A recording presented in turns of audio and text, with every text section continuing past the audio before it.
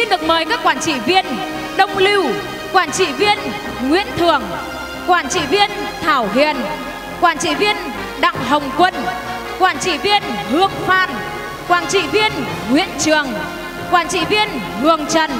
quản trị viên Thu Hường, quản trị viên Yến Nguyễn, quản trị viên Thu Hương, quản trị viên Lan Thu, quản trị viên Nguyễn Ngọc Luyện, quản trị viên Nguyễn Huệ, quản trị viên Hoa Nguyễn, quản trị viên Nguyễn Chiến, quản trị viên Thủy Phan. Xin được mời các quản trị viên, chủ tịch câu lạc bộ sẽ cùng di chuyển lên sân khấu để ra mắt tới toàn thể quý vị.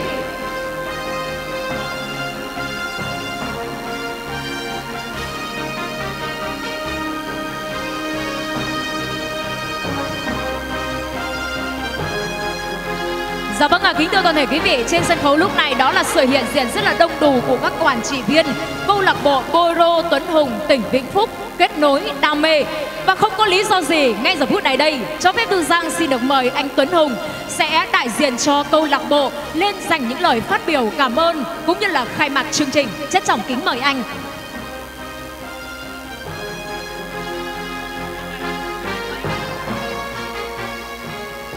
Vâng, lời đầu tiên trong buổi sáng ngày hôm nay cho phép Tuấn Hùng xin phép được thay mặt cho toàn thể anh chị em bên ban quản trị viên xin được gửi tới toàn thể cô chú anh chị và các bạn trẻ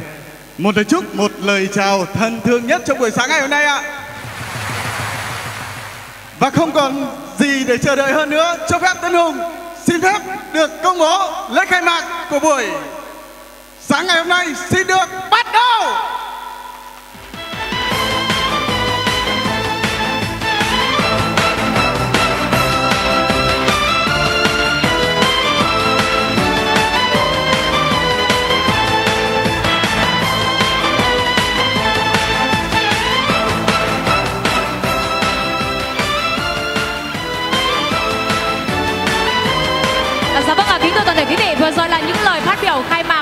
Hùng để cùng khai mạc cho buổi gặp mặt giao lưu sinh nhật 2 tuổi của câu lạc bộ Bolero Tuấn Hùng tỉnh Vĩnh Phúc. Và Thu Giang rất mong muốn rằng là toàn thể quý vị phía dưới có thể dành lên sân khấu một tràng vỗ tay thật lớn được không ạ?